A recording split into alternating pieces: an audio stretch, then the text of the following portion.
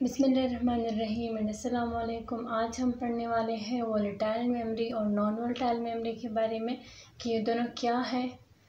तो volatile memory वो memory होती है that requires power to maintain the stored information power का मतलब है इलेक्ट्रिसिटी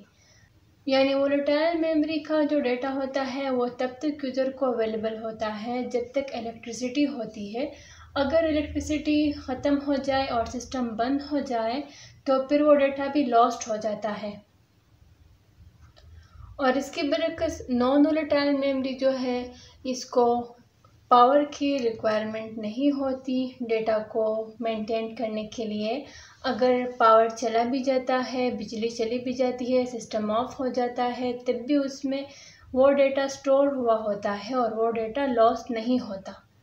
और वोलेटाइल मेमोरी को हम टेम्प्रेरी मेमोरी भी कह सकते हैं, जबकि नॉन वोलेटाइल मेमोरी को हम परमानेंट मेमोरी कह सकते हैं। दूसरा नाम इसका परमानेंट मेमोरी भी है और इसकी एग्जांपल्स में आता है रैम रैंडम एक्सेस मेमोरी जो डेटा को टेम्प्रेरी बेसिस पे स्टोर करता है जब तक सिस्टम ऑन होता है और जब तक प्रोसेसिंग होती है।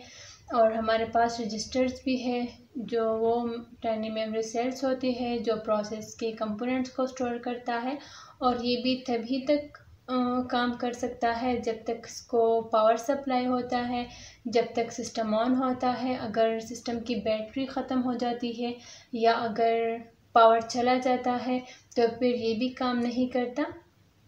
और नॉन वोलेटाइल मेमोरी की एग्जांपल्स में आता है रोम रीड ओनली मेमोरी जो परमानेंट बेसिस पे डेटा को स्टोर करता है और सेकेंडरी मेमोरी भी इसका एक गुड एग्जांपल है, जो डेटा को परमानेंट बेसिस पे स्टोर करता है और secondary memory hard disk magnetic tapes magnetic disk वगैरह, जिसको डेटा को स्टोर करने के लिए पावर की ज़रूरत नहीं होती। तो उम्मीद है कि आप लोग को समझ आई होगी और बस यही वोलेटाइल मेमोरी और नॉन वोलेटाइल मेमोरी आज की वीडियो में डिस्कस करना था। तो फिर मिलते हैं अगली वीडियो में एक नए टॉपिक के साथ और तब तक के लिए अल्लाह हाफिज़।